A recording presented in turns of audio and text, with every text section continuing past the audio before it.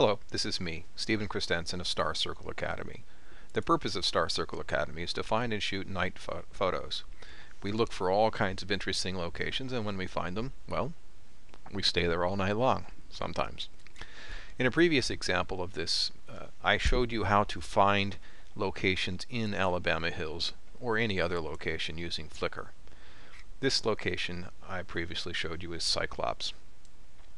What this tool Photographer's Ephemeris is actually doing, and I'll go to the Ephemeris page, is it's showing you from any given date, this is November 6th, 7th, and so forth, from any given date, which direction the sunrise will occur. That's the light yellow.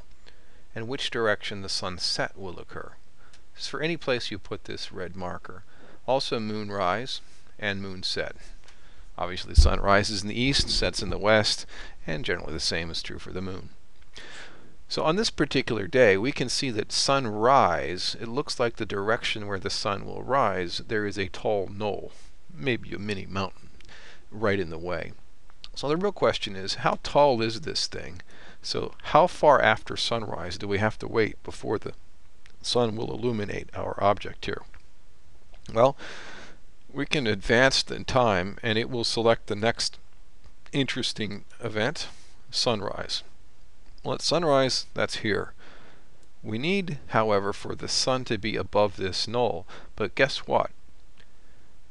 Ephemeris just calculated it for us. When I put this gray marker here, it said how far above the horizon is this relative to that. The answer, it's 2 degrees. So now I know that I can advance my time until the sun is 2 degrees high.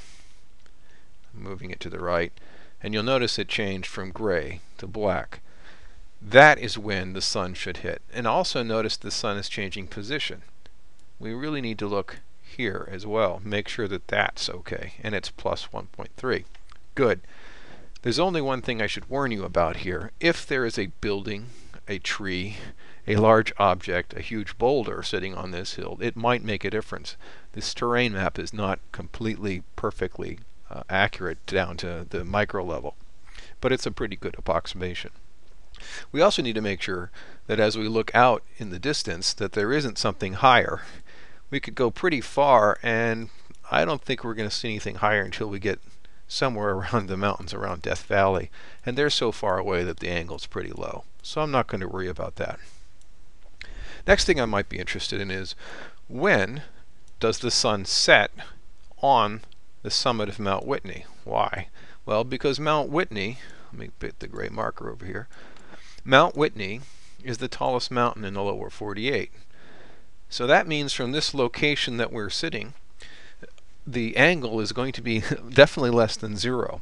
I've moved the marker somewhere pretty close to the summit of Mount Whitney and you'll notice it calculates that the angle between the starting location and the summit of Whitney is 10 degrees. That means a lot of things.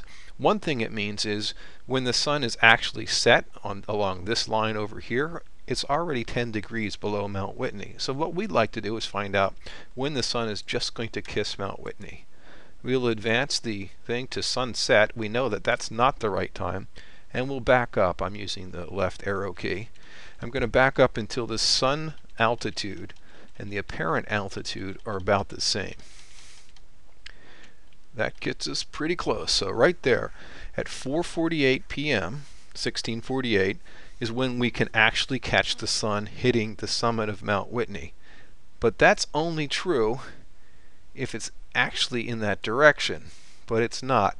You see I've zoomed out and you can see the sun is actually going to be down here, not near the summit of Whitney.